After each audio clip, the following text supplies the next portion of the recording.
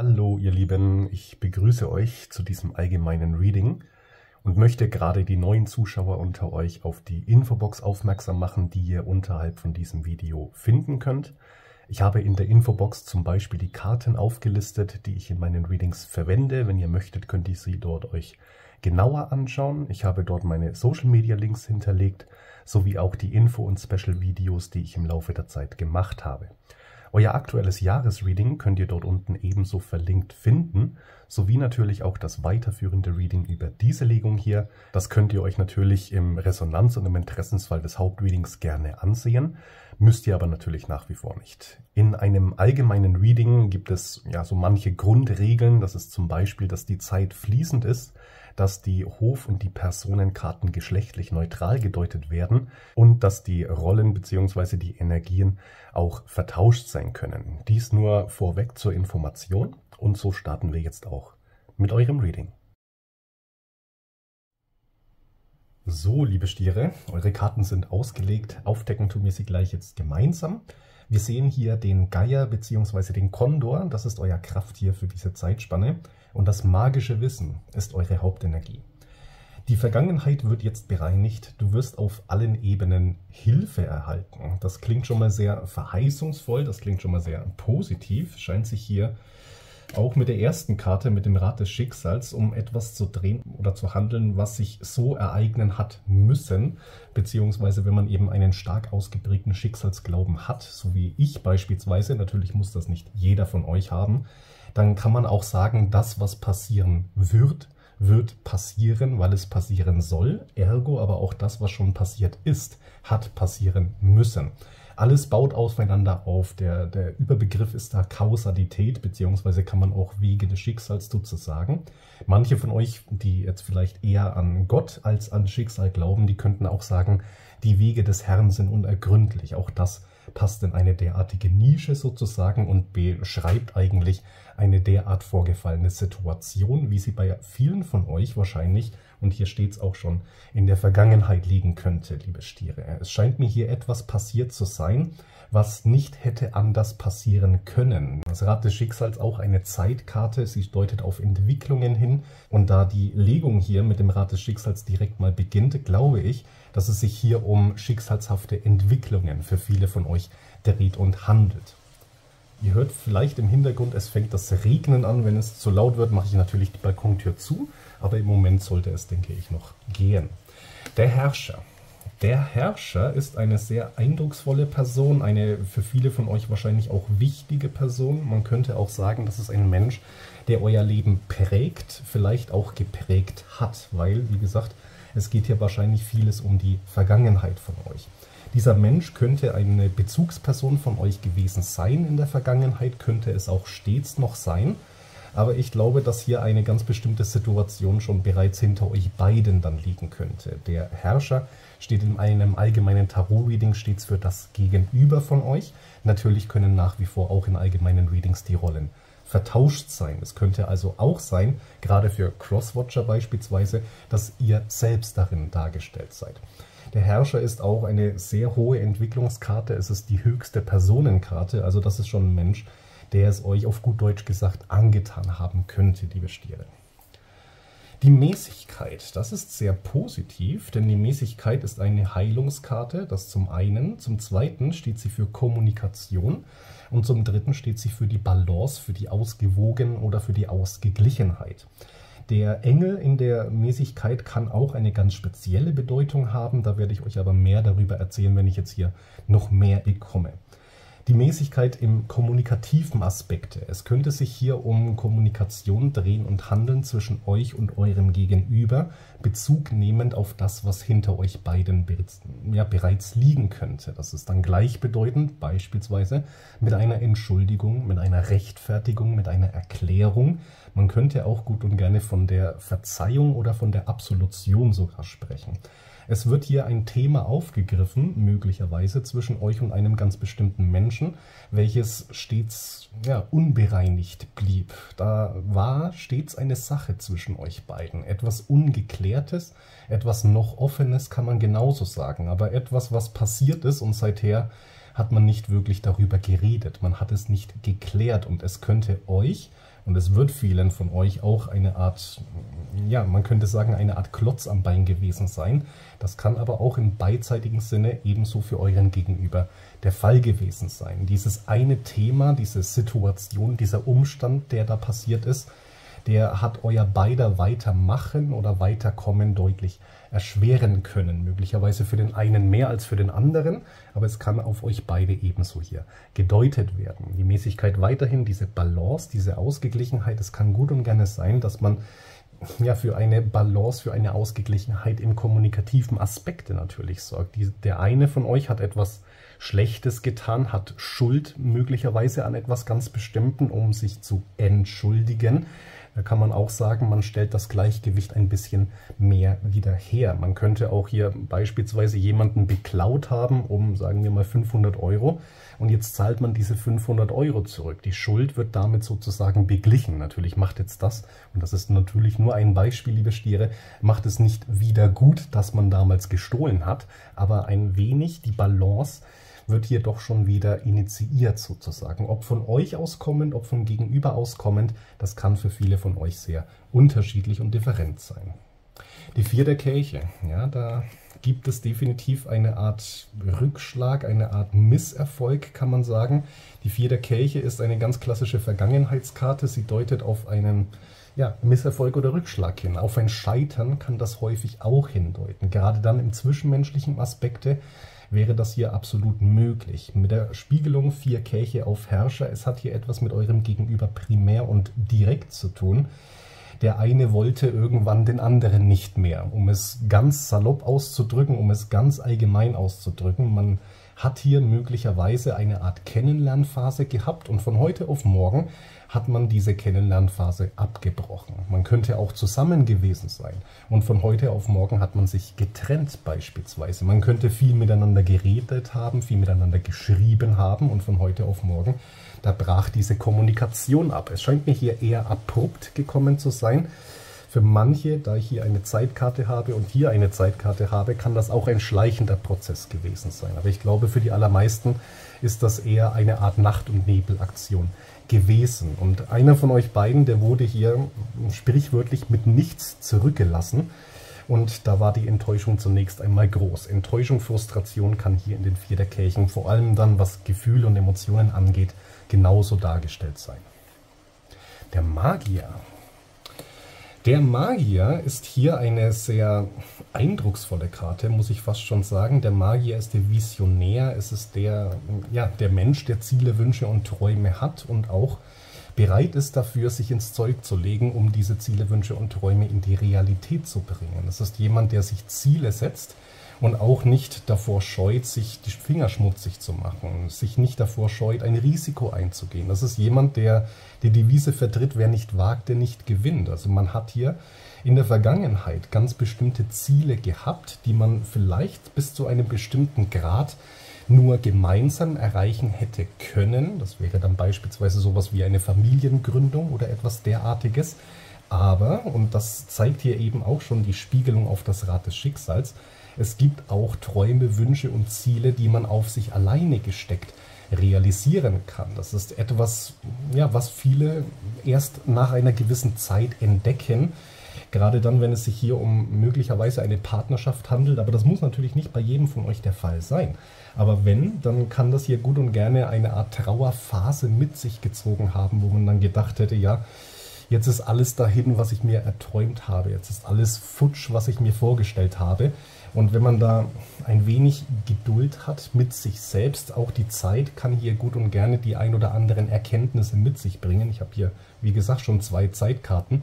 Man kann gut und gerne mit der Zeit realisiert haben, nicht für jeden Wunsch, nicht für jedes Ziel und auch nicht für jeden Traum braucht man einen Menschen an der eigenen Seite. Vieles schafft man auch auf sich alleine gestellt. Und eine derartige Erkenntnis, möglicherweise auch eine derartige Bewusstwerdung, scheint hier mindestens einer von euch beiden bereits gehabt zu haben. Ein Nicht-Aufgeben oder ein Nicht-Aufgegeben haben, das kann ich hier deutlich entdecken.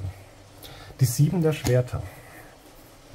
Die Sieben der Schwerter ist eine Karte, die auf Manipulation hinweist und hindeutet auf Lügen oder Betrügen, auf teilweise auch sogar Diebstahl. Und ich habe euch vorhin schon so ein Beispiel gebracht, welches hier gut und gerne für ja, manch einen vielleicht zutreffen könnte. Jetzt wird es doch etwas zu laut. Ich mache hier einen kurzen Schnitt und mache die Tür schnell zu. So, entschuldigt die Unterbrechung, liebe Stiere. Die Tür sitzt zu. Es sollte jetzt wesentlich leiser sein. Leider halte es dann aber auch etwas, wenn ich die Tür zumache.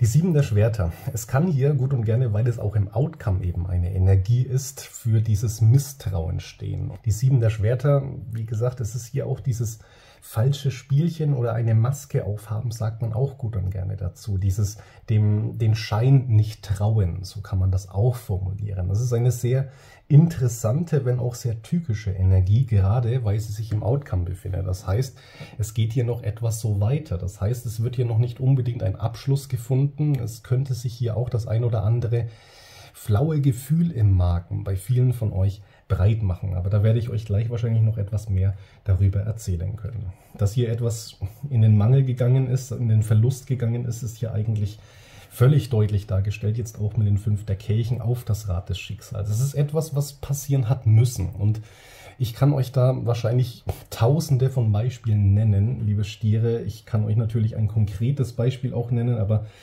es ist hier etwas, was passieren hat müssen, damit etwas anderes, was vorgesehen war, erstmal passieren hat können. Und ihr merkt wahrscheinlich, wie komplex die ganze Sache natürlich sein kann.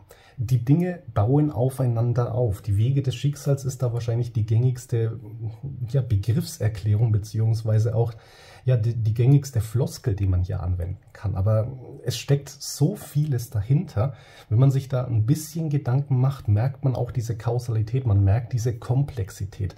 Alles kann sein, nichts muss sein. Das ist, das ist, ja, es geht natürlich auch viel in die Philosophie mit rein, aber ich hoffe, ihr wisst, wie das Ganze hier auf eure persönliche Situation natürlich zu beziehen ist. Es suggeriert hier mit den fünf Kelchen auf das Rad des Schicksals, dass etwas Schmerzhaftes, etwas Niederschlagendes, Niederschmetterndes, etwas mit einem Verlust zu tun haben, das erst einmal passieren hat müssen, damit folgende oder weitere Konsequenzen daraus entstehen können. Diese Konsequenzen können positiver Natur sein, negativer Natur sein, neutraler Natur sein, können für euch sowie auch für euren Gegenüber stattgefunden haben.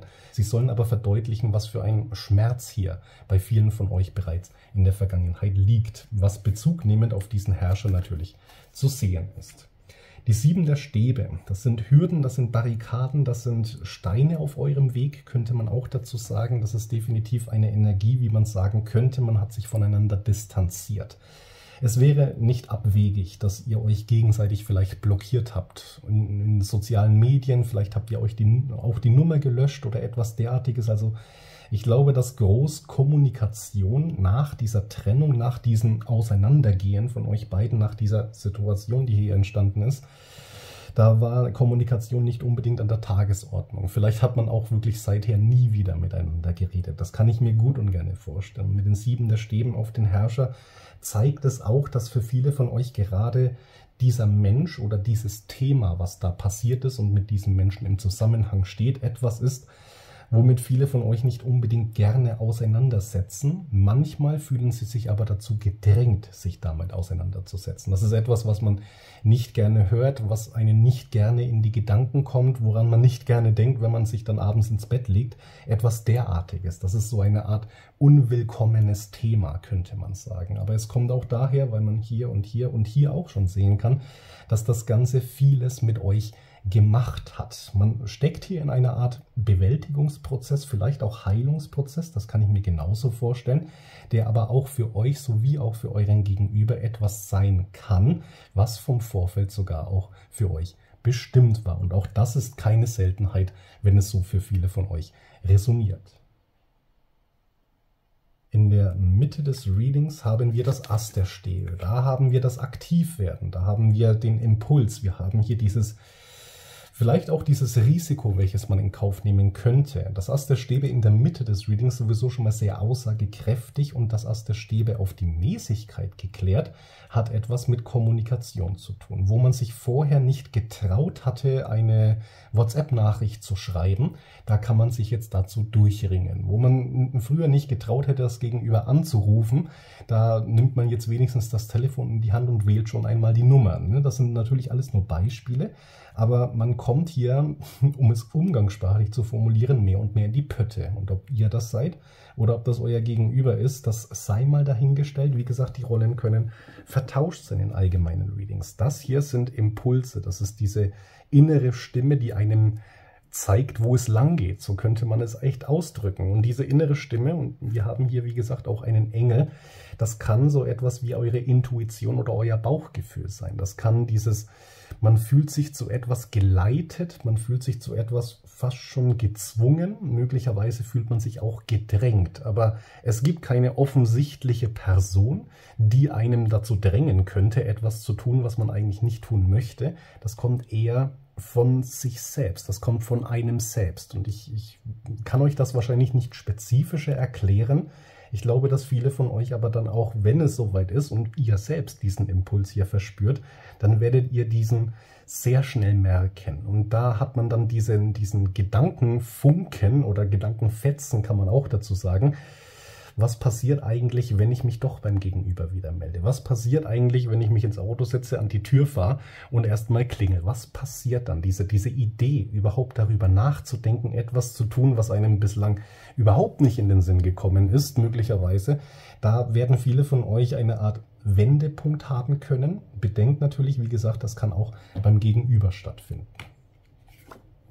Die zweite Stäbe, ja, dieses andere Vorgehen als das, was man bislang gepflegt hat zu tun. Und ich glaube, liebe Stiere, dass viele von euch bislang ja nicht viel getan haben. Man hat da ja im Prinzip nicht nur gezögert, man hat sich auch geweigert, in die Offensive zu gehen. Man hat sich geweigert, etwas zu tun. Frei nach dem Motto, mein Gegenüber muss sich bei mir entschuldigen. Und manche von euch könnten damit definitiv recht haben. Manche von euch könnten sich das auch selbst nur einreden. Ne? Das kann jeder natürlich dann selbst für sich auch erklären. Und da kann ich euch natürlich in einem allgemeinen Reading nicht sagen, für wen was zutrifft. Aber ehrlich zu sich selbst zu sein, bedeutet auch manchmal zugeben zu müssen, dass man selbst Fehler gemacht hat. Und wenn man selbst Fehler gemacht hat, könnte man natürlich dann auch dieses notwendige Risiko, von dem ich auch hier schon gesprochen habe, aufwenden, um versuchen, diesen Fehler wieder gut zu machen. Ne? Und das kann, wie gesagt, auch wiederum bei euch beiden der Fall sein. Ich habe hier eine Dualitätskarte mit den zwei Stäben, hier Dualität mit der Mäßigkeit auch schon dargestellt, euer Gegenüber ist sowieso schon da.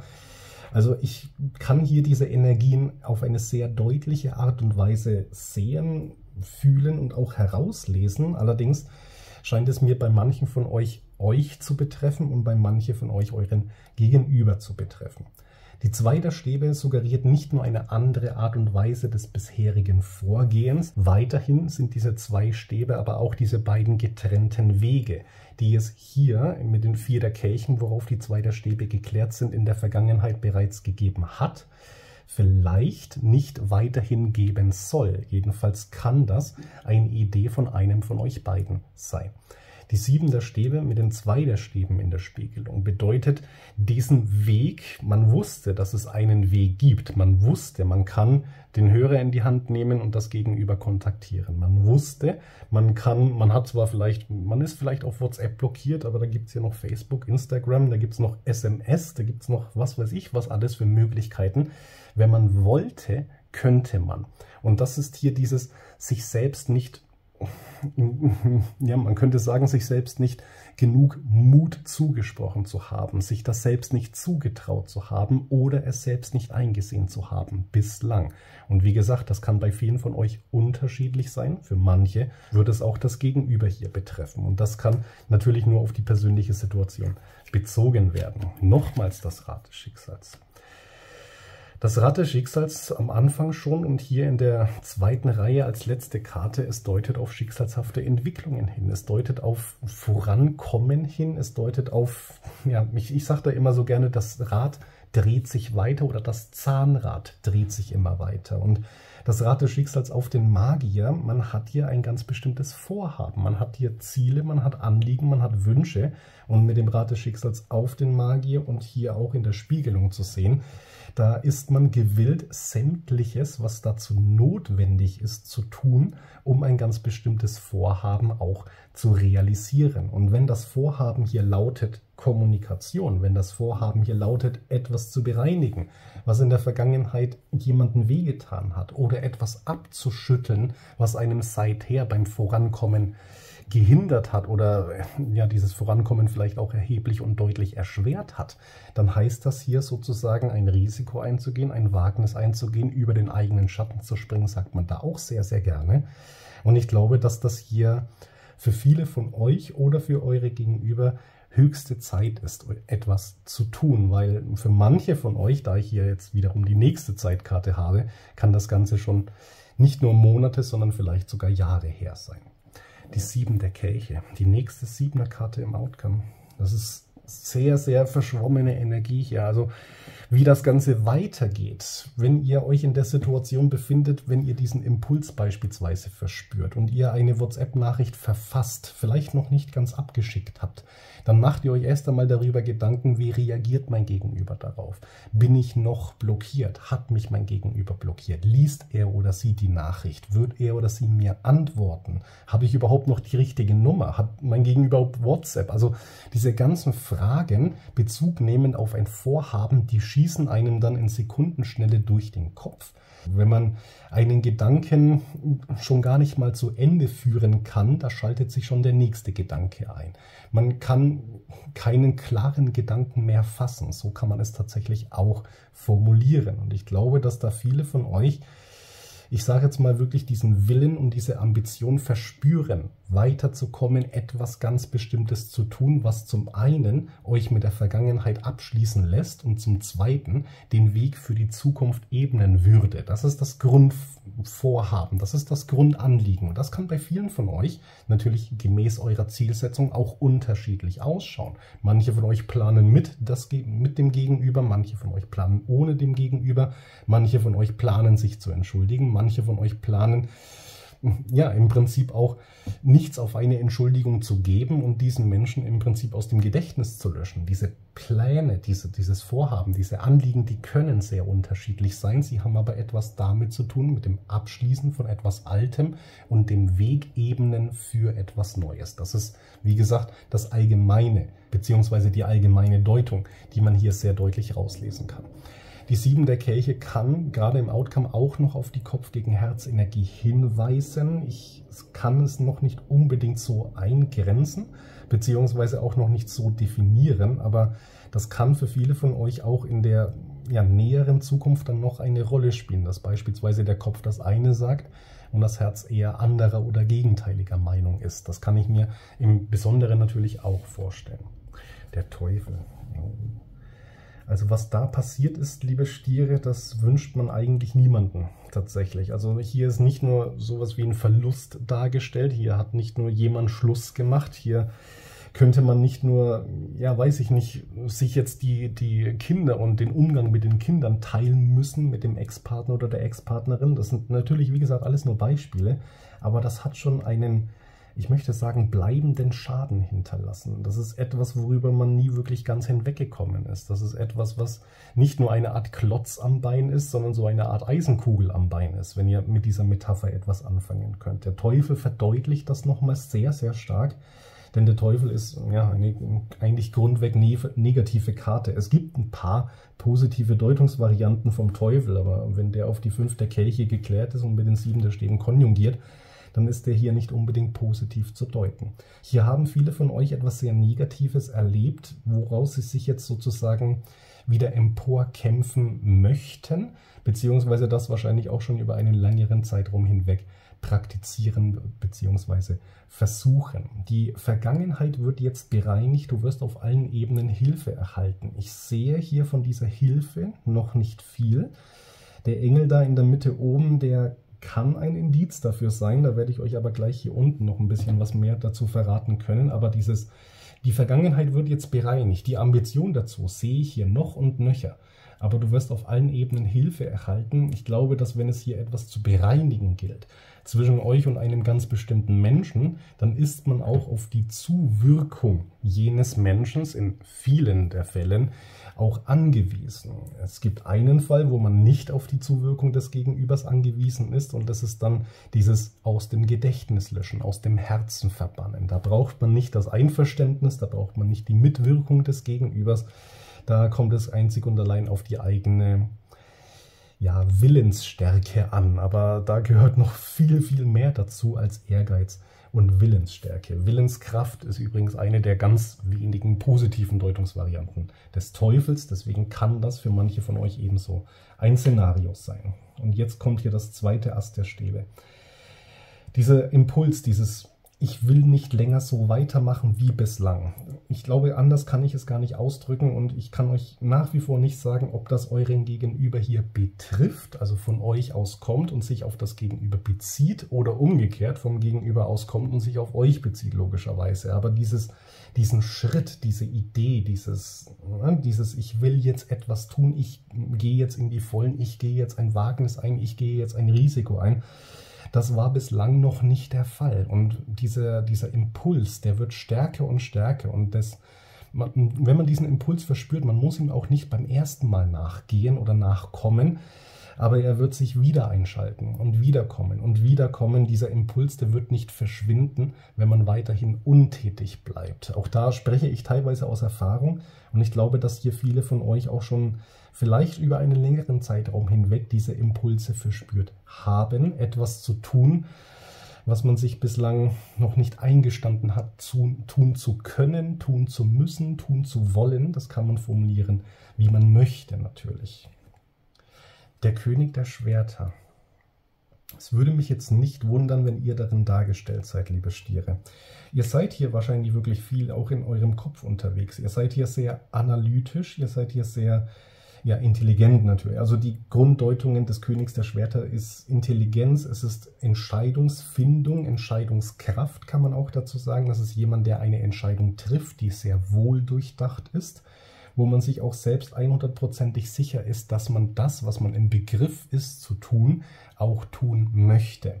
Das ist typisch für einen König der Schwerter. Natürlich auch ein Kopfmensch, häufig auch jemand sehr intelligentes, jemand bei, mit klarem Verstand, manchmal auch mit kombinatorischem Denken, beziehungsweise auch eine ausgeprägte Menschenkenntnis kann dieser Mensch haben. Aber dieser König der Schwerter, da ich auch hier euren Gegenüber habe, liebe Stiere, ich meine, da sind viele von euch darin verkörpert. Natürlich nach wie vor, wie gesagt, die Rollen können vertauscht sein. König der Schwerter auf das Ast der Stäbe. Dieser Mensch, dieser König der Schwerter, der hat hier eine Idee. Der hat hier definitiv, für manche von euch kann es auch eine Strategie sein oder einen Plan betreffen, den man sich hier zusammengebastelt hat, könnte man sagen. Gerade dann, wenn diese Situation zwischen euch beiden, wie sie in der Vergangenheit passiert ist, sehr komplexer Natur ist, da reicht es nicht, einen Anruf zu tätigen. Da muss man vielleicht auch eine ganz bestimmte Strategie oder einen sogenannten Erfolgsplan sich zunächst einmal zusammenschustern. Und das könnten hier einige von euch tatsächlich schon bereits getan haben.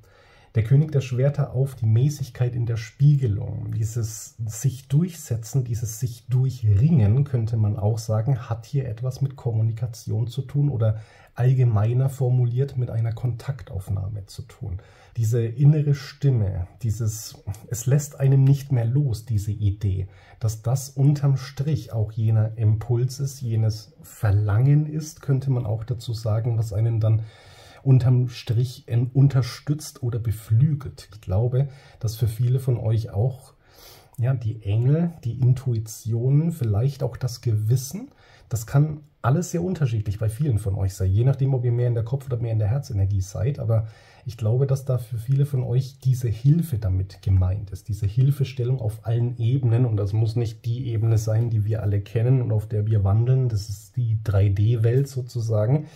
Da gibt es noch ganz andere Dimensionen. Und aus einer dieser Dimensionen kann auch diese Hilfe, diese Unterstützung erfolgen. Sprechend, wie gesagt, von dieser inneren Stimme, von der Intuition, vom Bauchgefühl, von einem Traum, den man haben kann. Natürlich sind das alles nur Beispiele. Der Gehängte. Der Gehängte kann für zweierlei stehen, nämlich zum einen für ein Stagnieren, für ein Festsitzen, für ein Festhängen. Das hat hier wahrscheinlich dann eher etwas mit der Vergangenheit natürlich zu tun. Ja, und ich glaube eher, dass hier dieser Perspektivwechsel, dieser Meinungswechsel mit dem Gehängten dargestellt sein kann. Vor allem hier auch auf die zweite Stäbe sieht man das sehr deutlich. Ich habe euch hier vorhin schon erklärt, eine andere Art und Weise des Vorgehens, etwas, was man bislang nicht getan hat, zieht man jetzt in Erwägung zu tun. Und genau das hat natürlich dann auch etwas mit einem Meinungs- oder Perspektivwechsel zu tun. Vielleicht haben die ein oder anderen von euch ganz bestimmte Informationen bekommen, sei es, ja, sei es etwas, was ihr gelesen habt oder etwas, was euch ein Bekannter erzählt hat oder etwas, worauf ihr irgendwie aufmerksam geworden seid, vielleicht sogar bei euren Überlegungen, bei euren Gedankengängen, bei euren Träumen möglicherweise. Aber eine ganz bestimmte Information kann für viele von euch diesen Perspektiven- oder Meinungswechsel auch ausgelöst haben. Der würde dann folglich ausschauen, ich will nicht mit meinem Gegenüber reden, ich möchte den Kontakt nicht suchen, ich möchte mich nicht als erstes melden. Und man hat jetzt hier sozusagen eine Offenbarung oder vielleicht auch nur so etwas wie eine Information bekommen, die einem diese standhafte Meinung vielleicht noch mal überdenken lässt. Vielleicht hat man dann wirklich einen Grund, sich als erstes zu melden. Vielleicht kann man sich dazu durchringen, dann sich als erstes zu melden oder in den Kontakt zu treten. Vielleicht hat man hier auch die ein oder anderen Einsichten bekommen, dass man vielleicht auch selbst nicht ganz unschuldig war in der Vergangenheit. Alles beispielshafte Formulierungen, aber all das sind natürlich Wege des Schicksals. All das sind diese Entwicklungen, diese Impulse, dieses Empfinden, etwas zu tun oder etwas tun zu wollen, damit man es nicht nur hinter sich hat für manche von euch, sondern damit man besser vorankommt als noch bislang, damit man diesen Loslass-, Heilungs- oder Bewältigungsprozess, der natürlich dann auch mit, dem, ja, mit dieser Situation, mit dem Umstand zu tun hat, der schon passiert ist, erfolgreich bestreiten und vielleicht auch abschließen könnte. Und gerade dann, wie gesagt, wenn es ein Traum war, wenn es ein inneres Gefühl ist oder ein Flüstern in eurem Ohr. Ich kann da so viele Formulierungen anwenden, aber das kommt einer ja, Hilfe auf allen Ebenen schon sehr nahe. Und wir haben die dritte Rat des Schicksalskarte. Also ich glaube, ich habe euch zu Genüge über die Wege des Schicksals schon referiert. Ich glaube, ihr habt verstanden, was ich euch hier näher bringen möchte. Diese Konsequenzen, diese Entwicklungen, das, was passiert das muss passieren, das soll passieren, das wird passieren. Es gibt einen ganz bestimmten Grund für all das, was passiert ist, was passiert und was passieren wird. Und wie gesagt, die Kausalität, der Zusammenhang der Dinge. Manche von euch könnten da ein sehr fundiertes Wissen darüber besitzen. Das sagt mir jetzt das Doppelrad des Schicksals auf den Magier. Das ist aber etwas sehr Seltenes tatsächlich. Ein Teufelskreis ist auch hier dargestellt und hier dargestellt. Jetzt der Teufel, Rat des Schicksals, Teufel, Rat des Schicksals in der jeweiligen Spiegelung suggeriert einen Teufelskreis. Und klar, man ist hier in einem Loslassbewältigungs- oder Heilungsprozess, aus dem man nicht einfach so mir nichts, dir nichts herausgekommen ist. Sonst würdet ihr euch nämlich diese Gedanken gar nicht machen.